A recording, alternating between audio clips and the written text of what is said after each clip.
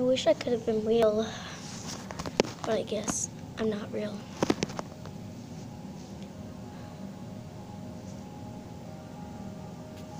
What?